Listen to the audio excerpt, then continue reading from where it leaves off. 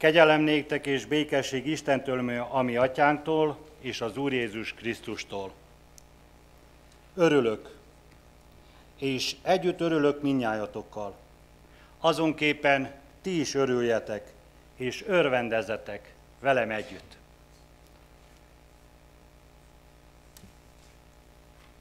Nagyon sok szeretettel köszöntjük az egybegyűlt ünneplő közösséget. Mai nap egy különleges nap, nem csak a Ruben és az Izabella életében, hanem a közösségünk életében is. Nem mondhatjuk el azt, hogy olyan sűrűn van a közösségünkben mennyegzői Isten tisztelet. Kedves Ruben és Izabella, ez a nap rólatok szól, ez a ti napotok. Tiszta szívűből kívánjuk azt, hogy minden egyes percében örüljetek és élvezétek ki ezt a napot, és a Jóisten áldja meg ezt és a többi napokat, amelyekkel megajándékozt benneteket. Megtiszteltetés számomra köszönteni mindazokat a jelenlévő, ünneplő személyeket, akik talán először lépték át egy adventista közösség küszöbét, vagy legalábbis a miénket. Sok szeretettel köszöntünk benneteket, és tiszta szívünkből kívánjuk azt, hogy érezzétek jól magatokat itt körünkben, és örüljünk és örvendezzünk együtt az ifjú párral. Jó érzés látni új arcokat, de ugyanakkor jó érzés felfedezni régi, rég nem látott arcokat is. Nektek is Isten hozottat mondunk, minnyájatoknak és tiszta szívből köszöntünk benneteket. És nem utolsó sorban, de végül szeretnénk köszönteni a kedves testvéri közösséget. A Jóisten áldását kívánjuk az előttünk álló órára. Az első ünnepélyes aktus nem lesz más, mint egy énekkar szolgálata, melynek címe Két szív áldást vár.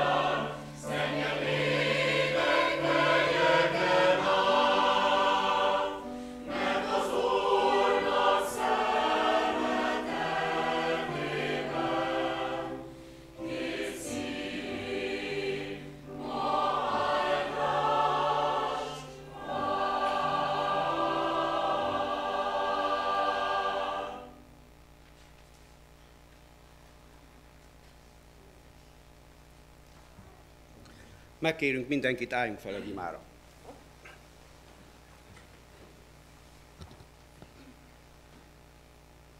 Mi atyánk, ki a mennyekben vagy, hálásak vagyunk azért, hogy ilyen szép számban elvezettél bennünket a te, házadban ezen szép délutánon. Megköszönjük azt, hogy életünkben örömteli pillanatokat is adsz, és ez az. Jó atyánk, megkérünk, áldott szent lelked által jelenj meg, és ezt az egész programot áld meg. Áld meg az elkészített énekeket, segíts, hogy neved dicsőítésére szóljanak. Áld meg a költeményeket, segíts, hogy tanulni tudjunk belőle. Áld meg ígédet és annak szólóját, de érints szíveinket, hogy amit szólsz, be tudjuk fogadni, és útmutatást adj mindannyiunknak, de főleg azoknak, akik itt házasságot kötnek.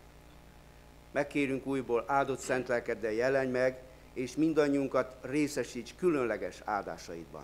Az Úr Jézus érdekében kértünk. Amen.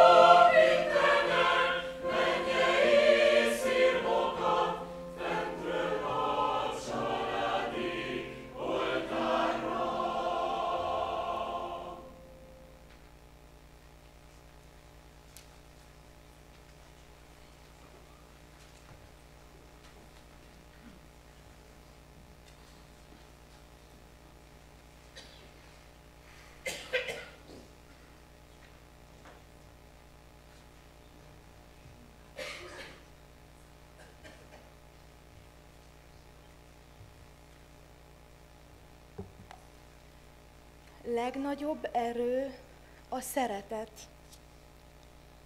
Még vannak nagy erők a világon, s uralkodnak az emberek felett, de olyan, mely lelkeket összekössön, csak egy létezik, a szeretet.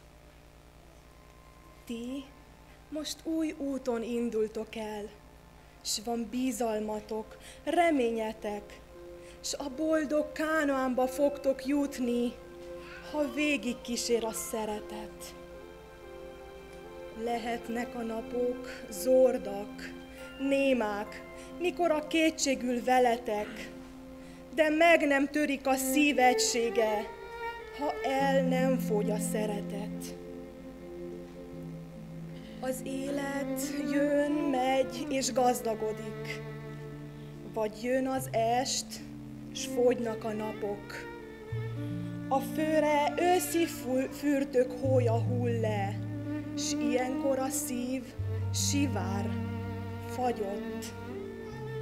Ti ne bámuljátok téli éjben a kietlen, rideg keresztet, ne féljetek, a fagyban is tüzel, hevít a kitartó szeretet. Lehet, hogy nem lesz könnyebb nektek sem, mint az előző nemzedéknek. Az élet új és régi bajai minden korban szíveket éget. Lehet, hogy nektek is jönnek komor, bús, megoldhatatlan helyzetek. Meglátjátok, mit meg nem old az ész, megoldja majd a szeretet. Az élet durva, harc és szorongás, ezt majd lassan megtanuljátok. Ha utolér, bántás, csalódás, gyilkos nyilak, ha lövelnek rátok, emlékezzetek, hogy csak egy erő létezik annak, ki elesett, mely képes a porból is felemelni, és ez az erő a szeretet. Szeretetet avassátok fel életetek áldott szentélyévé. Gyújtsatok tüzet ennek a lángnak, hogy váljon ez hitté, s reményé. Ti a szeretetet hirdessétek, ha össze is dől a mennyezet, nem szóval, hanem áldott tettekkel győz minden felett a szeretet. Még vannak nagy erők a világon, és uralkodnak az emberek felett.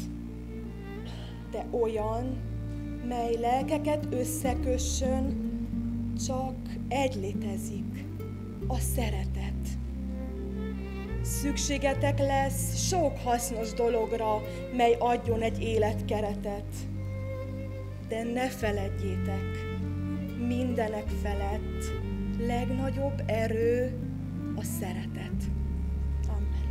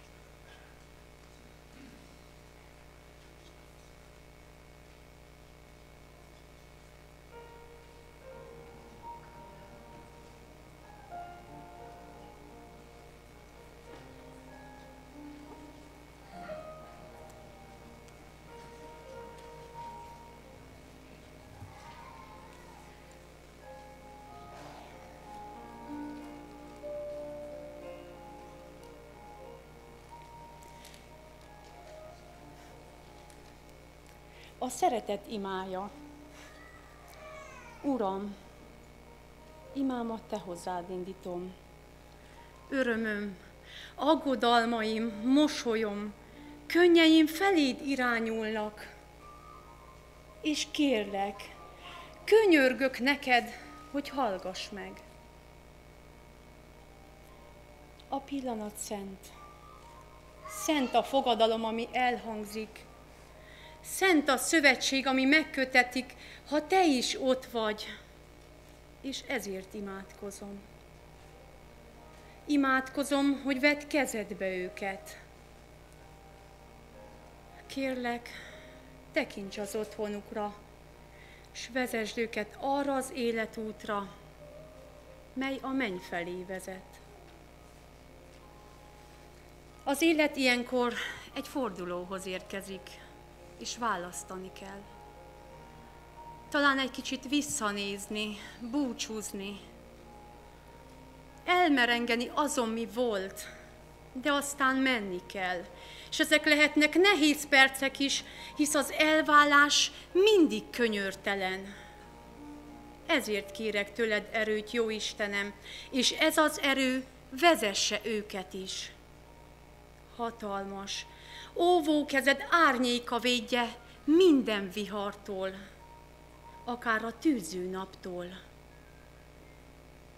s míg az élet forgatagában annyi álnok hang lesz hallható, szelíd szavaddal, nyugtató hangoddal, szólj ez új családhoz, Istenem, hogy örömük benned teljes legyen. Amen.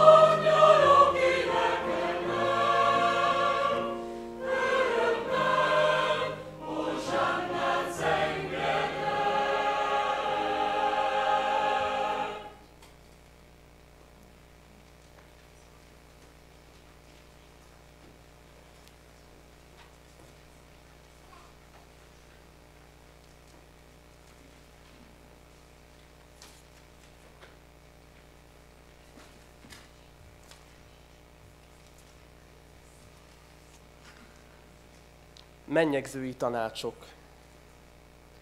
Egy új úton indultatok el, tele kövekkel, sok veszéllyel. Mentek. Irány a boldogság. Eltűnődve nézlek titeket, úgy derültök, mint a kikelet, mely aranyfényben jön hozzánk. Hogy boldogságtok tartós legyen, mint a sziklabérc a büszke hegyen, s ne legyen csak hiú álom, ma, mikor ti áldást kaptok, és közös úton elindultok, fogadjátok meg tanácsom. Elsőként tanácsolom nektek, hogy egymást buzgón szeressétek, mint parancsolt a mesterünk. Ne érjétek be szavakkal, mert a szeretet könnyen elhal, ha érte semmit nem teszünk. A jó Isten lesz majd veletek, csak jó indulattal legyetek ti mindenkor egymás iránt. Mert a hű, ártatlan gondolat belső tisztaságról mond sokat, és dicső fényt vet mi ránk. A derülték szép, mert mosolyog. Ti mosolyogni tanuljatok, hogy kevesebb legyen a harc. Nem lesz szegényebb, ki mosolyt ad, de gazdagabb lesz, ki mosolyt kap. Oly csodaszer a derült arc. Egymásnak tűrjetek. Jelszó ez, mely békét, egyetértést szerez és távol tartja a vihart. A boldogság nem egy kész áru, hanem hímzendő, dúsvirágú kelme, mint a türelem vart.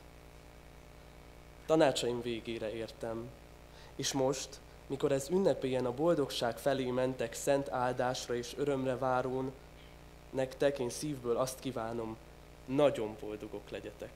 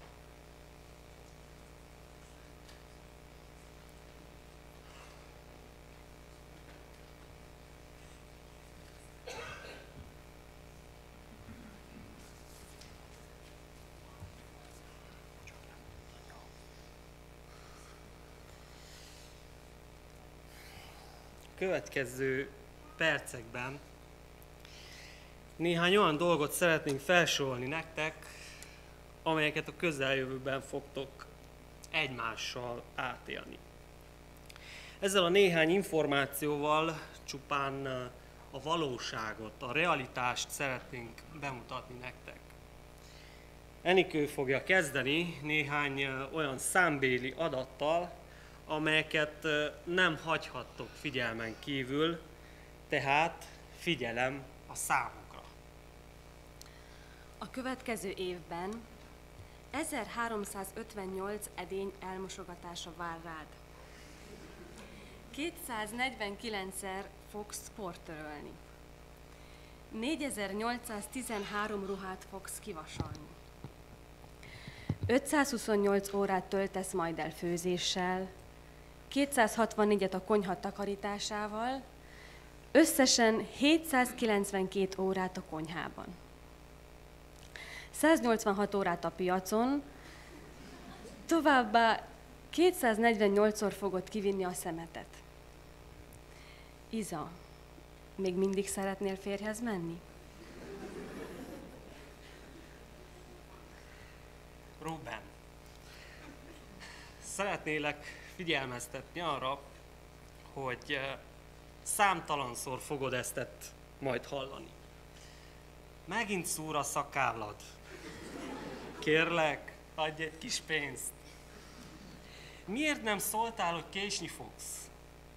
Légy szíves, vidd ki a szemetet. Őszintén. Akarsz még megházasodni? Mától kezdve számtalanszor fogod hallani. Kóstoltad már az anyám töltött káposztáját? Nem vagyok válogatós, bármit megeszek, kivéve a spenótot. Sütőtököt, csalánfőzeléket, karfiollevest, céklát, stb.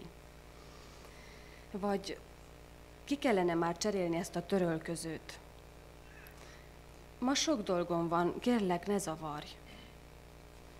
Nem értem, minek töltesz annyi időt a piacon, ha nem vásárol semmit. Iza, biztos, hogy férjhez akarsz menni? Képzeljétek el azt, hogy indulni készültök valahová, és megígértétek, hogy pontos időben ott lesztek. Már késésben vagytok, de a feleséged még nem rendezte el a frizuráját. Amikor végre befejezte, bár mér, még mindig nem elégedett hajával, sikerül kituszkolni őt az ajtón, lementek a lépcsőn, és amikor leértek, eszébe jut, hogy valamit otthon felejtett. Ruben, jól meggondoltad a nősülést? Melegen tálalsz. Szeretett férjed megígérte, hogy pontosan időben hazaérkezik, és együtt ebédeltek. Vársz 5, 6, 8, 10, 15 percet, az étel már kihűlt. Újra megmelegíted. Újból elmosod a tányérokat, újra kiteszed az ételt, hogy minden készen álljon, amikor a kedvesed betoppan. Újabb 5, 10, 15 perc telik el. Meggyújtod újra a gázt, és visszatöltöd a levest az edényben. Közben állandóan az ablakot figyeled. Iza, nem akarod inkább elhalasztani a férjhez menést?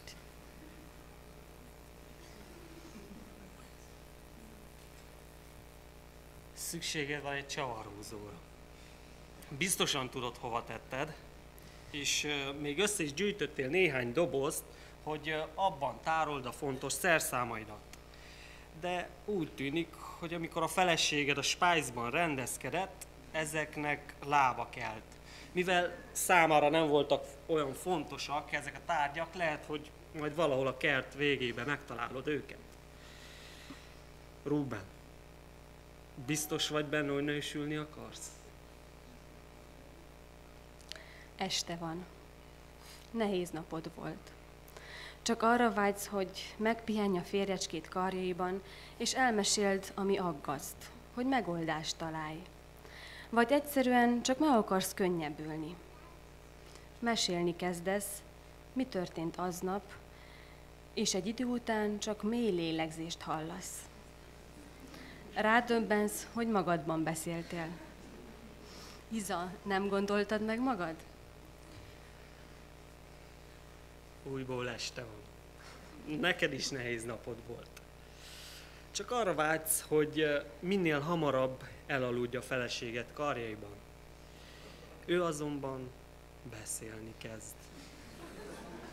És beszél. És még mindig beszél, és nem bírja abba hagyni.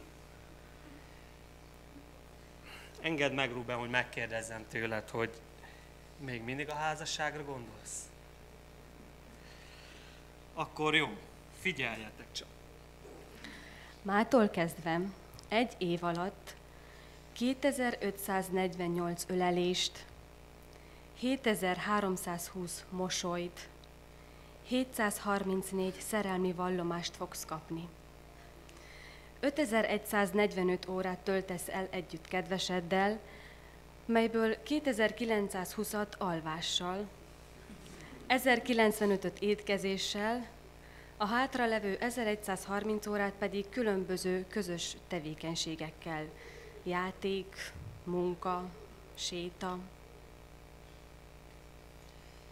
Akár hányszor hazaérkezel valahonnan, olyan szeretetteljes ölelés fogad, hogyha erre gondolsz, a lépcsőtől az ajtóig a távolságot repülve tennéd meg. Fáradt, stresszelt, vagy éppen dühös vagy. De egy találó, humoros mondat a férjettől nevetésre késztet, és elfelejted minden gondodat. Kimerült vagy testileg, szellemileg, de a feleséged masszírozási szakértelme folytán újjászületsz. Balul indult a nap. Minden fordítva történik, de egy egyszerű szeretlek, melyet a párod a munkahelyéről üzen telefonon, újra felfesdít, és mintha minden egyszeriből megoldódna. Amikor a vacsoránál az egyszerű tejberizsre lekvárral írt szeretlek felirat fogad, az étel sokkal, de sokkal finomabb. Vagy amikor a fürdőszobai tükörre, vagy a konyhai csempére szerelmes sorokat írsz fogkrémmel, a kedvesed lelkének egy része jelen van, még ha ő távol is van tőled. Péntek van. Sok a dolog, fogalmat sincs, hogy fejezett be naplementéig. A mit segítsek varázsszó ilyenkor többet jelent, mint egy egyszerű szeretek. Amikor a feleséget füledbe súgja, hogy boldog vagyok, érzed, hogy nem élsz hiába ezen a földön. Egy pohár víz, amit véletlenül a másikra öntesz, egy puszi, ami után borotva marad az órod hegyén, egy bújócska a lakás rejtek helyein, egy papírgalacsin a cipőt berejtve, egy piknik a napla- nappaliban egy esős napon, és sok más azt bizonyítja, hogy, hogy valóban megéri megházasodnod.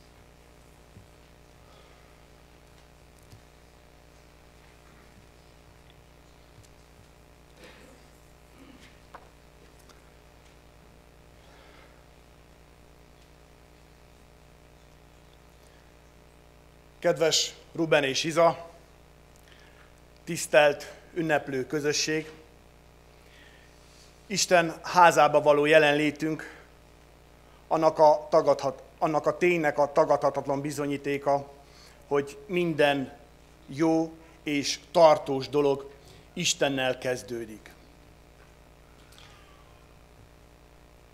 Azok, akik előttem tanácsokat osztogattak az ifjú párnak a jövővel kapcsolatosan, azt mondták, hogy szeretik a realizmust.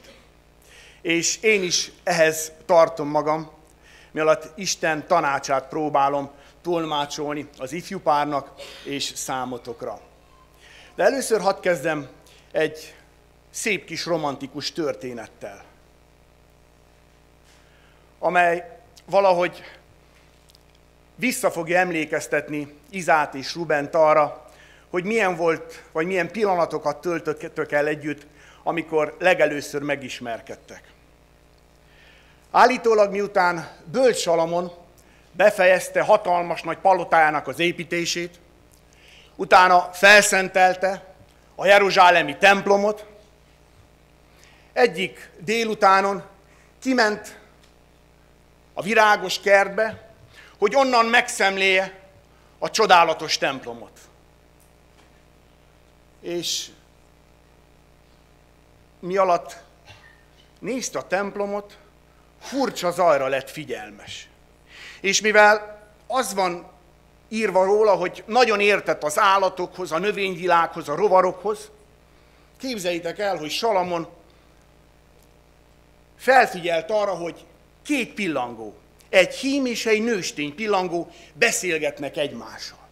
És Salamon csak arra lett figyelmes, amikor a hím pillangó megfeszítette jobb szárnyát, és azt mondta a nősténynek, egyetlen egy szárcsapással azt az óriási templomot én ledöntöm.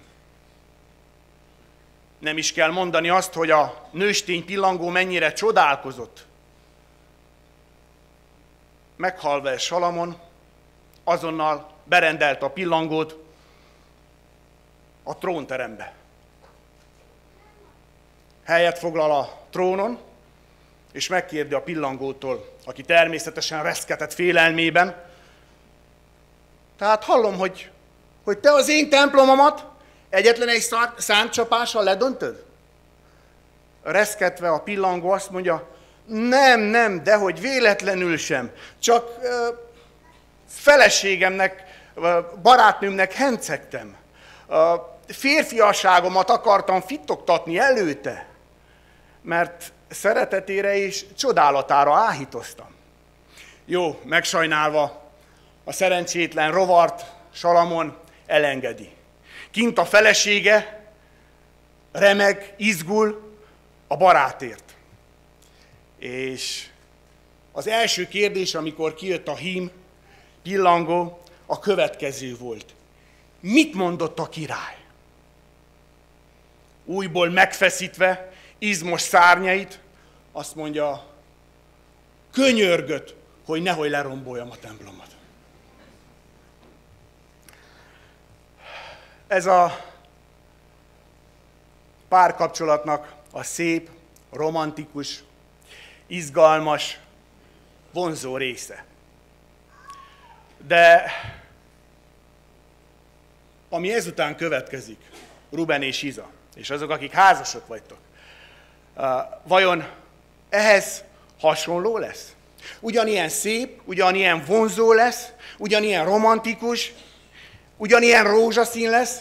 Azért tartom a kezembe ezt a programot, mert látjátok az esküvői programnak a színét rózsaszín. Minden ennyire rózsaszín lesz? És őket még nem kérdezhetem, mert ők még nem tudják, de hadd kérdezem a jelenlévőket, azok, akik házasok. Minden ilyen, ugyanilyen rózsaszín lesz? Ilyen romantikus lesz? Így zajlik le a házasság? Tessék? Igen? Van az amerikaiaknak egy mondásuk, a, különösen a, a keleti országokkal kapcsolatosan, hogy nálunk a véleménykutatások nem nagyon hitelesek. Azért, mert legtöbbször mi azt mondjuk, amit kell mondjunk, nem ami a valóság. Jó, Ha Salamonnal kezdtük, hadd folytassuk továbbra is Böl Salamonnal. Salamonnak van egy csodálatos könyve, a Prédikátor könyve. És ebben a könyvben ő azt állítja, szinte minden dologról, hogy hiába valóság. De érdekes, hogy ugyanott és szinte ugyanazokról a dolgokról azt állítja, hogy mégis fontosak, mégis megvan az értékük és az értelmük. A Talmud azt állítja, prédikátor könyvéről, hogy a régi rabik ki akarták iktatni a bibliai kánonból ellentmondásos állításai miatt. De ha őszinték vagyunk egy csöppet önmagunkkal szemben, akkor nem csak prédikátor könyve van tele ellentmondásokkal, hanem ilyen az élet. Az élet, a földi élet tele van ellentmondásokkal. És hát mivel mennyegző Isten tiszteleten vagyunk, ezért csak is a házassággal kapcsolatosan egy pár ilyen ellentmondásos kijelentésre emlékezzünk. Senki nem hallotta úgy azt a kijelentést, hogy se veled, se nélküled. Ugye? Vagy azt, hogy Szokrátész azt mondta, hogy ha megházasodsz, azt bánod, ha nem házasodsz, meg azt bánod. Nagyon érdekes, hogy egyik alkalommal, amikor az Úr Jézus ténylegesen, tehát nagyon-nagyon komolyan beszélt a házasság szentségéről, és arról, arról, hogy az elválás, az nem volt isteni uh, szándék, cél soha, és hogy a házasságot szentnek tekintsék az emberek, a tanítványok, akik egy más felfogással voltak megszokva, meglepő módon, miután az Úr Jézus Krisztus elmondja és kihangsúlyoz, a házasság szentségét, utána azt mondják, hogy mondának néki a tanítványai. Hallgassátok meg. Ha így van a férfi dolga az asszonyjal, nem jó megházasodni. Ezt mondták. Tehát mikor Jézus azt mondta, hogy nem válhatsz bármilyen oknál fogva. Nem válhatsz el bármilyen oknál fogva. Ez nem egy játék, ez egy életre szóló komoly dolog. Nem lehet elválni. És akkor a tanítványok, akik meg voltak szokva egy bizonyos felfogással a házassággal kapcsolatosan, azt mondták, ha így állnak a dolgok, akkor jobb, inkább meg nem házasodni. Térjünk vissza Bölcsalamonhoz. Bölcsalamon az, aki a prédikátor könyvében elismeri azt, hogy mennyire értékes a tudás, az információ.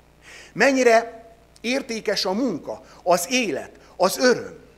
Mennyire értékes a házasság is. Mennyire értékes maga az igazságosság, az igazság.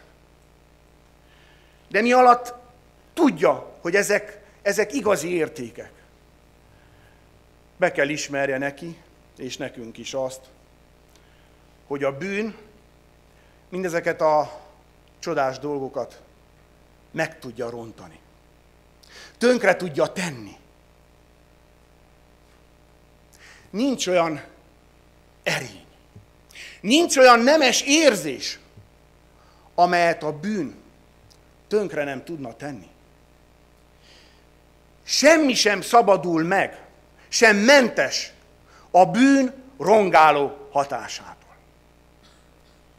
És mégis, a mégis a házasság az egy csodálatos dolog. Mindenek előtt a legszebb dolgot, amit elmondhatok a házassággal kapcsolatosan, az az, hogy a házasság isteni eredetű. És ez még nem is elégséges, hanem azon túl, hogy isteni eredetű, a házasság Isten ajándéka még a bűnbeesés előtt. Még mielőtt lett volna bűn, Isten megajándékozta az emberiséget a házassággal.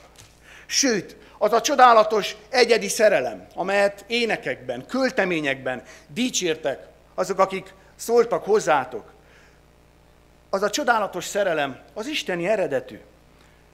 Énekek, énekének nyolcadik fejezetének a hatodik vers azt mondja, hogy lángjai, tűznek lángjai, az Úrnak lángjai. Igen, az Úrnak lángjai, ezek a, ezek, ez a szerelem. Egy férfi és nő között. Ez a tiszta szerelem. Isteni eredetű. Viszont bár isteni eredetű a házasság, el kell ismerni azt, hogy a bűn rongáló hatását a házasságra is kifejtette. És nem csak ami a két fél, férj és feleség közötti kapcsolatot illeti, hanem ami a házassággal kapcsolatos felfogásokat és elméleteket illeti, amelyekre én most nem akarok kitérni.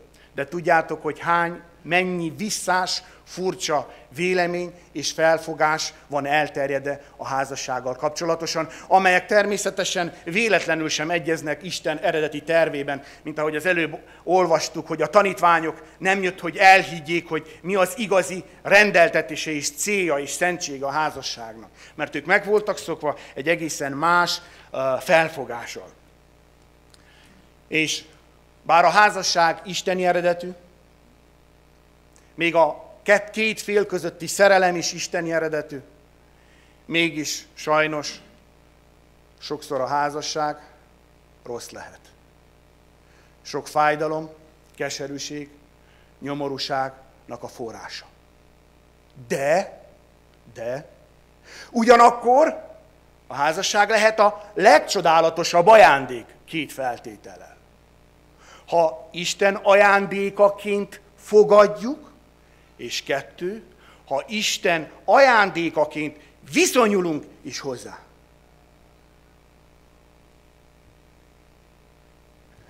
Mitől függ a házasság sikere? Többek között. Mitől? Salamon azt állítja, hogy a nemes, jó, értékes dolgokat a bűn az, amely megrongálja. És hogyha a bűn az, amely megrongálja a házasságot is, akkor a boldog házasság nem rejlik másban, mint abban, hogyan sikerül a két félnek ellensúlyozni a bűn rongáló hatását. És hogyan ellensúlyozhatja az ember úgy általánosan az életében a bűn rongáló hatását. Egyetlen egy megoldás van erre. Egyetlen, nincs több megoldás.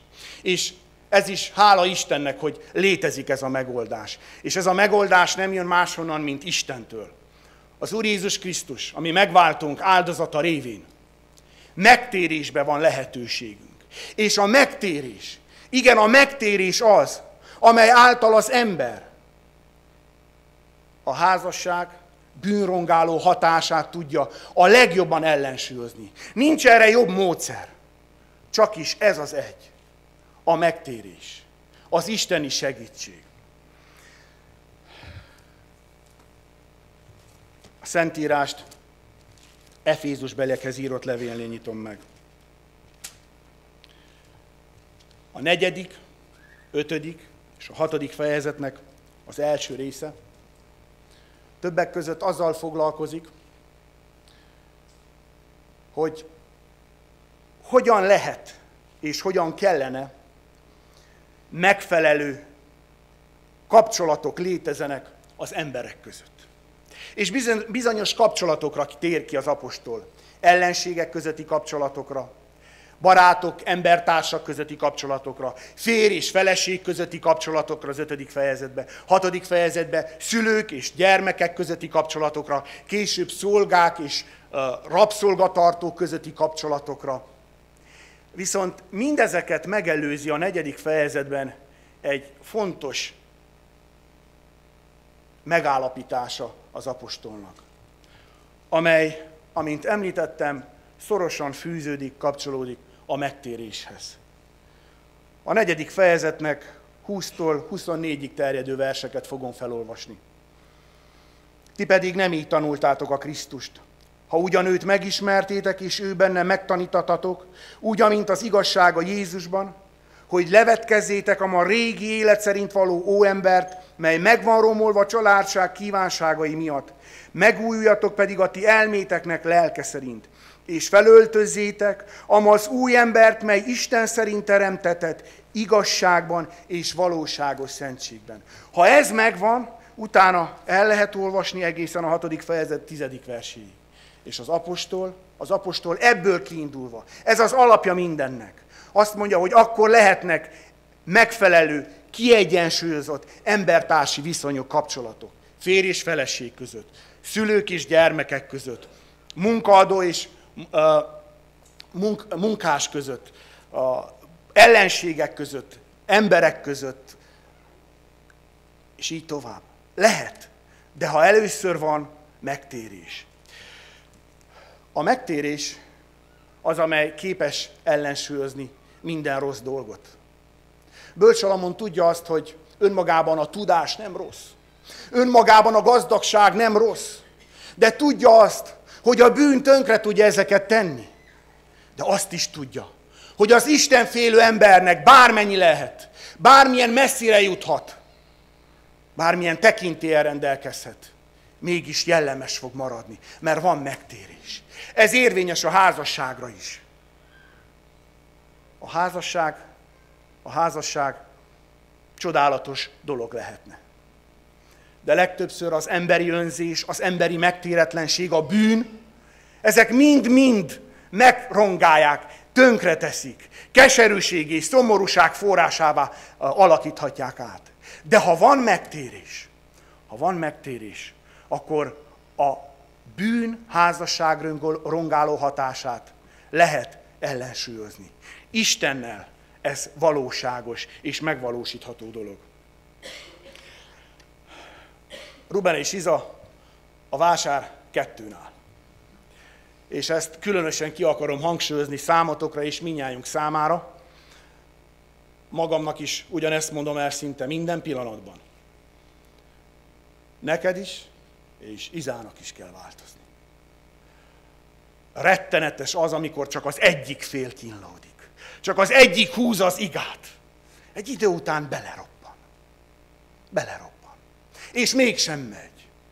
Úgyhogy azt hiszem Árpi szavalta a verset, mikor azt mondta, hogy a szeretetért tenni is kell valamit. Igen, a házasságért kell tenni valamit. Nem jön magától minden, hanem tenni, tenni kell valamit.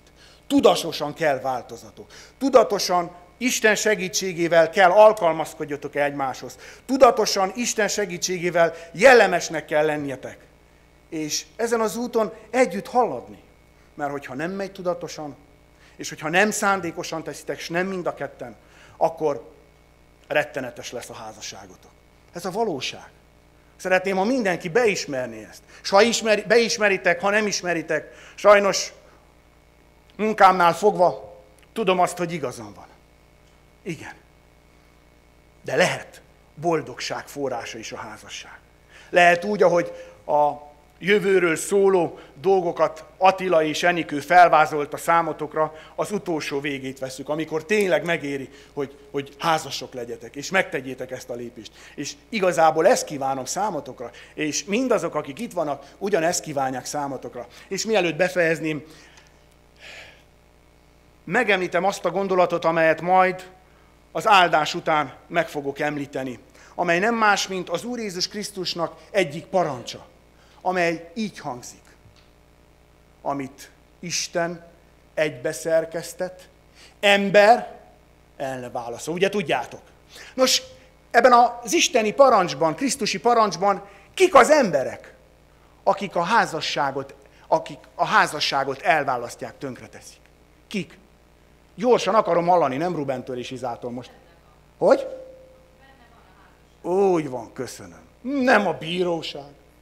Én még nem kaptam, meg senki nem kapott egy be, behívást a bíróságra, hogy, hogy el kell váljon. Nem. Mi, mi, a két fél mindenek előtt. Majd aztán a család, és néha a barátok azok, akik hozzájárulnak, hogy a házasság tönkre menjen. Igen. Úgyhogy amit Isten egybe szerkesztett, arra ti mindenek előtt vigyázzatok. A szülők vigyázzanak, a barátok mi vigyázzunk, a gyülekezet vigyázzon, és minnyáján vigyázzunk a házasságra. Isten tegyen benneteket boldogá, és ti tegyetek meg mindent azért, hogy a ti házasságotok boldog legyen. Amen.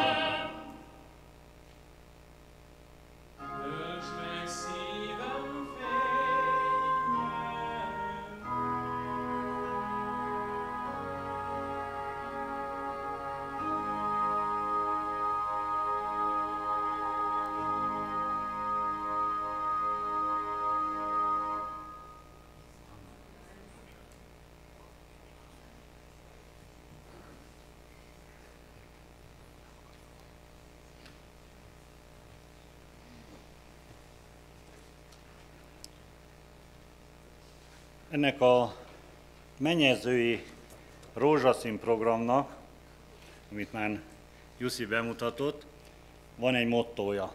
Ezt a mottót szeretném felolvasni a kedves ünneplő közösségnek. Idő, állj meg egy pillanatra, s ti suhanó percek várjatok, amíg ők ketten esküdt tesznek, hogy egymáshoz örökké hűek lesznek. Csak addig várjatok. Ez az ünnepélyes pillanat következik most.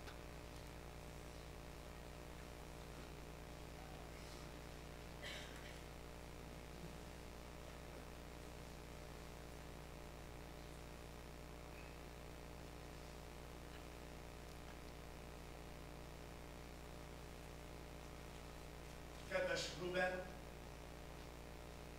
fogadod Isten és az ő egyháza előtt, hogy Cseri Izabellát őszinte szeretetből veszed feleségül, hogy Isten törvénye szerint él vele a házasság szent kötelékében? Igen, Ígéred, hogy őt mindig szereted. Hozzá mindig hűséges maradsz. Az élet mindenek körülményeiben, jóban, rosszban, egészségben, betegségben, szegénységben, gazdagságban, őt tisztelni és becsülni fogod, és nem utolsó sorban mindent elkövet, hogy őt boldogá. igen,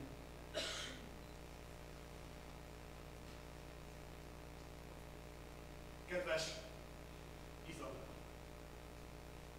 fogadod Isten és az ő egyháza előtt, hogy Palla Rubent őszinte, tiszta szeretetből férjetül választod, Isten törvénye szerint él vele a házasság szent kötelékében? Ígéret, hogy őt mindig szeretni fogod. Hozzá mindig hűséges maradsz. Az élet minden egyes körülményeiben. Jóban, rosszban, egészségben, betegségben, szegénységben, gazdagságban. Őt tisztelni, becsülni fogod. És minden tőle telhetőt elkövetsz azért, hogy őt boldog át.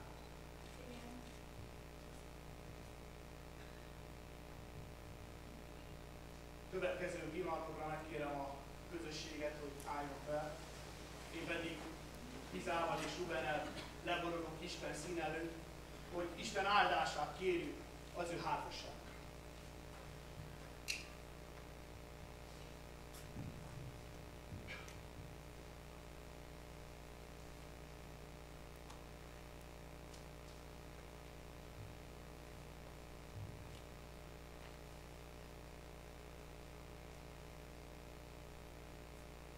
Teremtő és megváltó Istenünk, köszönettel és örömmel járunk Szent Színed elé az alkalommal, mert Te vagy a mi atyánk, és Te vagy a mi megváltunk. Köszönjük neked a házasság ajándékát, és azt is különösen köszönjük, hogy a Te fiad áldozata révén a bűn házasságra undáló hatását ellensúlyoztad. És ezt a lehetőséget megadod minnyájunk számára. Megadod számunkra azt, hogy ezen a bűnös földön, a házasságban boldogok lehessünk. Ha téged választunk, ha megtérést választunk. Szívből hálásak vagyunk neked, Rubenért és Izáért is. Köszönjük azt, hogy ők megismertek téged, és megismerték egymást is. Köszönjük az ő őszinte szeretetüket egymás iránt. És arra kérünk, hogy te legyél az, aki megáldod őket, mint Teremtő Isten, aki megalkotod a házasságot. Áld meg az ő házasságukat. Áld meg az ő életüket. Áld meg őket minden szempontból lelkileg, értelmileg, anyagilag.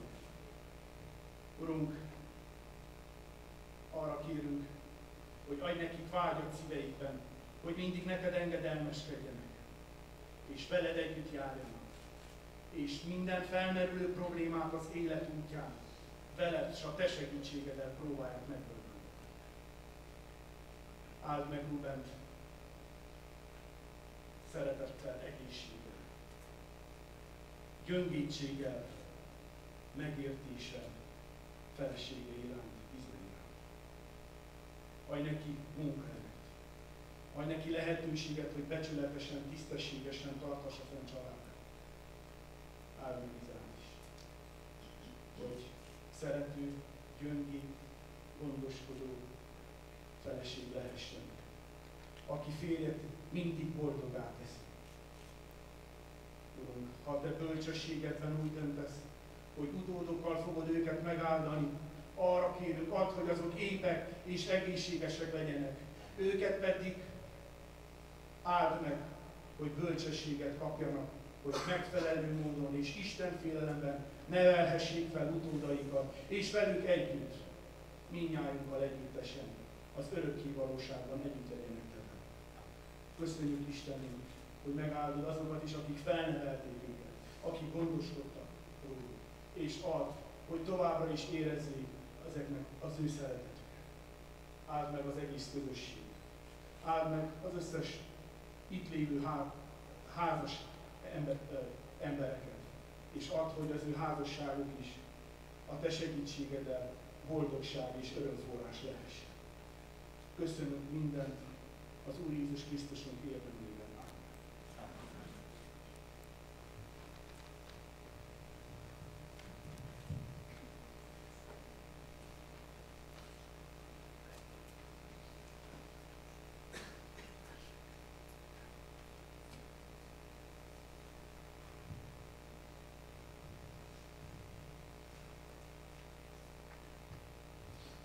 Mivel Ruben és Iza hűséget és szeretetet esküdtek egymásnak.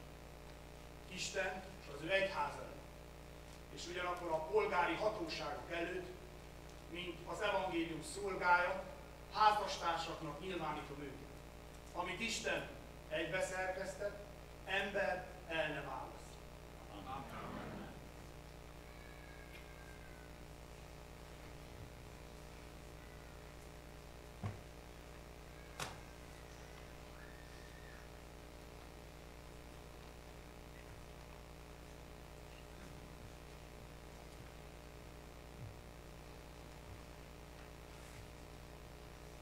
Ezeknek az ünnepélyes pillanatoknak is lassan a végére jutunk. Éppen ezért megkérjük a, az egybegyűlt közösséget, hogy közösen énekeljünk el egy nagyon szép Isten dicsőítő éneket. Legyen, Urunk, tied életünk.